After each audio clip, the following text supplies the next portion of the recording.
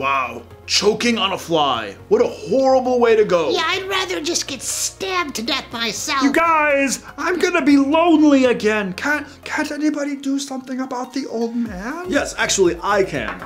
Dungeon Master, I cast Healing Word on the old man. With a single word of the divine tongue, you request the healing power of your god. The answer to your plea comes swift as glittering motes surround the wounds and provide some small relief from the pain they cause. Unfortunately, the old man is dead dead, so healing word doesn't work. Wait, the wizard can cast healing word? Well, in that case, I'm going to cast Raise Dead on the old man. Holding the priceless diamond over the chest of the fallen, you intone words of power designed to coax the dead person's soul back into its ravaged body. All at once, the diamond crumbles into dust. Motes of golden light flow from your fingertips into the lifeless corpse, and miraculously, the body's eyes flutter and then gingerly open. Oh! I- It's it's wonderful to be back. Now let's go kill some rat-faced kobolds. Rat faced? What are you talking about? Yeah, didn't you hear? The game designers are constantly rewriting history.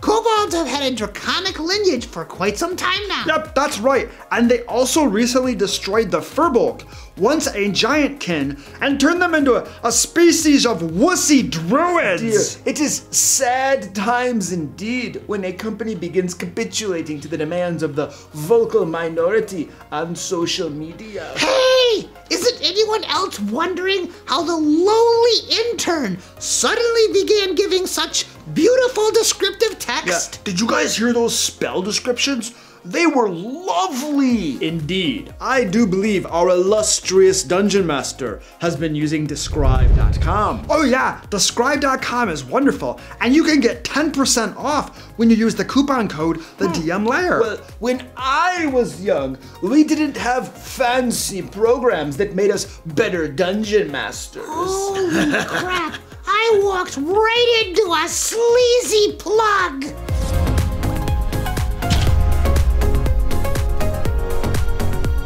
Welcome to the DM Lair. I'm Luke Hart, and I've been a dungeon master since the very first boring, lame, uninteresting D&D monster was ever imagined, the giant. I mean, seriously, giants are so dull and uninspiring in combat, basically just big old sacks of hit points that do damage. La di da. Anyway, on this channel, I give practical dungeon master advice that you can use in your Dungeons and Dragons games. And today in the layer, we're going to be talking about how to spice up your monsters, make them way more exciting in combat, and help them hold their own against characters that get more and more powerful with every splat book that comes out, such as Tasha's Cauldron of Everything. Namely, we're going to be going over the top 10 feats to give your monsters. But first, do you sometimes find it challenging to give narrative descriptions to your players? Descriptions of places, monsters, spells, and other important elements of an epic fantasy adventure? Well, with dScryb, you can enter the name of a monster, place, or spell and get a professionally written narrative description you can read to your players. For instance, let's say that you have a wizard player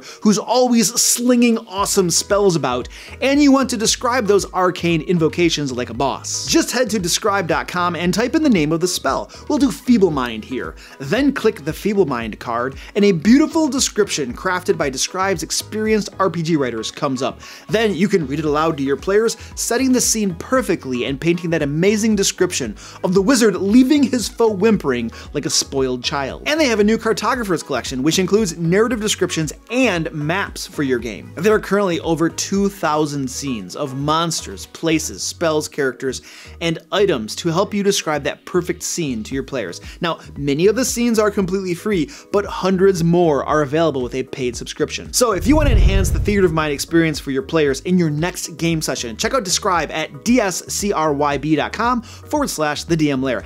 And if you use the coupon code the DM Lair, you will get 10% off your first subscription payment. So if you go for that annual payment option, you'll save even more. All right, and now on to giving your monsters feats. Why give monsters feats?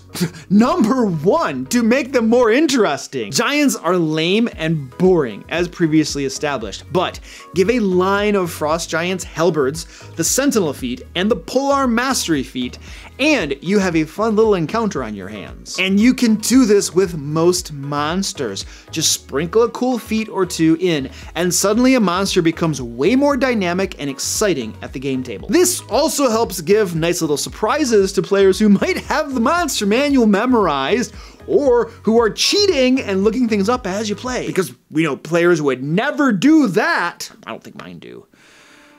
Oh dear, my players now are like, Luke, you have no idea. Poor Luke, he's clueless. Number two, to make them more powerful. It is a known fact that with every splat book that is released, characters in the game become more powerful.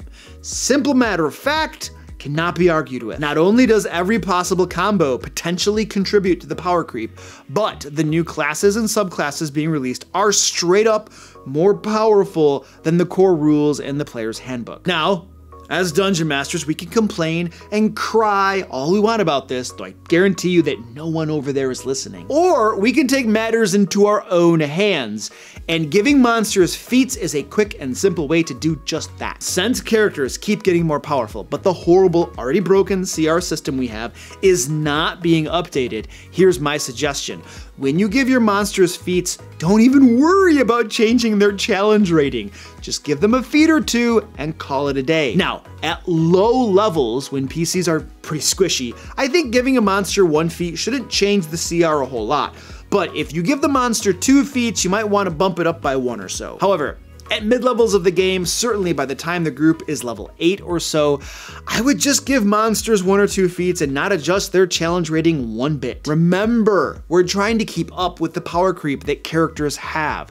If you adjust monster challenge rating when you give them feats, you're effectively not doing that at all. Top 10 feats for monsters. Number 1 Warcaster. With Warcaster, enemies have advantage on concentration checks to maintain concentration, can cast spells when the PCs provoke attacks of opportunity, and don't need to have a free hand to use somatic components. Are you tired of every spellcaster you deploy getting its butt handed to it because of how easy it is for the PCs to break its concentration when they focus fire? Well, start giving your spellcasters Warcaster.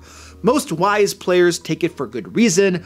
Why shouldn't the bad guys? Number two, Sharpshooter. Oh, let's see. Enemy archers now ignore half cover and three quarters cover, can attack at long range without disadvantage, and get a plus 10 to damage on every attack? Yes, please. Okay, sure, this makes archers and other ranged attackers more powerful, but it does something very good for your combat. It forces the players to consider the archers as massive threats, more so than the melee monsters tying them down, and they get to use tactics and their brains to get at the archers before they get torn apart. It makes the players think, and it makes the battle more dynamic and exciting. Number three, Lucky. You knew I was gonna go there, right? Tired of sucky dice rolls just when you need them the most? That's what the Lucky feat is for, baby. Now, is being able to re-roll d20s a little sleazy? Does it feel like cheating just a little bit? Well, maybe, but no more so than when the players are doing it Fair's fair, right? Number four, Mounted Combatant. This gives you advantage on melee attacks against unmounted creatures, forces attacks against your mount to target the monster instead, and the mount has evasion. Having a mounted monster with this feat not only makes it more powerful, but also makes the battle more interesting.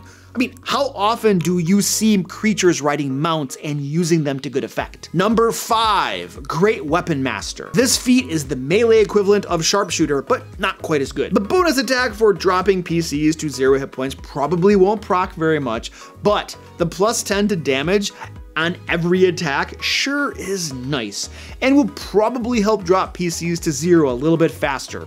I might add. I suggest giving this feat to enemies with multiple attacks and high attack roll modifiers, and you might even consider giving it to monsters that use one-handed weapons. We're the Dungeon Masters, we can do that. Number 6, Grappler. This feat gives the monster advantage on attack rolls against a creature they are grappling and allows them to try to pin the creature, which makes both of them restrained. Now, the, the pinning is rather situational, but who wouldn't take advantage on all their attack rolls, especially when the monster runs up and grabs a hold of the weakling wizard. This gives the monster a small power boost, granted, but it also makes the combat more interesting because the monster is using a specific tactic that characters need to avoid or counter. Number 7. Polearm Master. This beautiful feat allows the monster to make an extra attack that does hardly any damage, but more importantly, lets the monster make an opportunity attack when they enter the monster's reach. And since they have a pole arm, that's at 10 feet away. So basically, the monster gets an extra attack, which is really cool. However, this feat really shines when it's used in conjunction with the next feat. Number 8, Sentinel. This beaut of a feat makes it so that when the monster hits a PC with an opportunity attack, the PC's speed becomes zero, and PCs provoke even if they take the disengage action. And when a PC makes an attack against another monster within 5 feet, you can use your reaction to make an attack. Simply put, this feat is absolutely amazing. By itself, it prevents PCs from fleeing and moving around the field of combat and it lets monsters get extra attacks against PCs. However, when combined with Polearm Master, it turns a mob of monsters into the perfect phalanx that stops PCs in their tracks, doing damage to them but not allowing them to close to do damage to the monsters. Once upon a time, my Hand of Light group was in the Nine Hells, and they came up upon this phalanx of infernal gnolls armed with glaives.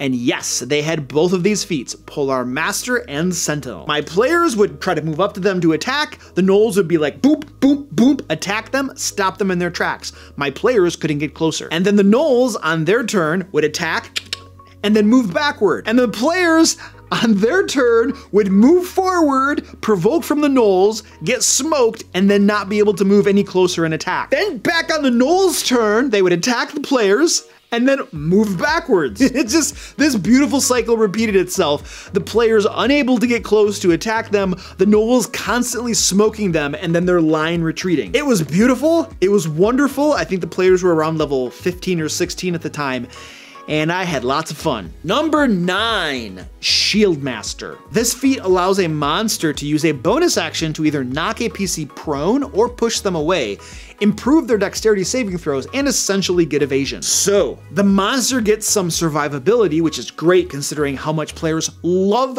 to cast Fireball, and they can knock PCs prone. And that's huge, by the way, because it grants all the other monsters advantage on their attacks against that PC. And in 5th edition, advantage is an extremely powerful game mechanic. And, and again, we're giving the monsters gimmicks, which makes the fight more dynamic and exciting than just swinging with weapons and doing damage.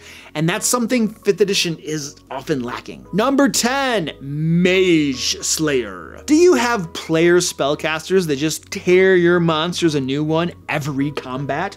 Well, throw a pack of baddies at them with Mage Slayer and see how things change. This feat gives monsters an extra attack when spellcasters cast spells next to them, imposes disadvantage on spellcasters' constitution saving throws to maintain constitution concentration on spells. I, I love that part, by the way. And it gives the monsters advantage on saving throws from casters nearby. Basically, this is the go-to feat to make your players' spellcasters crap themselves. And, and I feel it would be wise for any self-respecting big bad evil guy to have at least a couple minions trained in this feat for when the need arises to take out a problematic spellcaster raiding their stronghold. Don't forget, if you'd like finely crafted descriptive text for your games, monsters, places, items, and even spells, head over to dscryb.com forward slash the DM Lair and use coupon code the DM Lair to get 10% off your first payment. And if you're looking for a monthly D&D magazine with 5th edition adventures and other Game Master resources to reduce your prep time and make your games even better, click the link below to my Patreon page. Every month, my patrons get another issue of Lair Magazine, and the June issue just came out. If you think the feats we discussed today will have your players begging for mercy, give this video a thumbs up and leave a comment for the algorithm down below. Let YouTube know that I don't completely suck. And until next time, let's play D&D.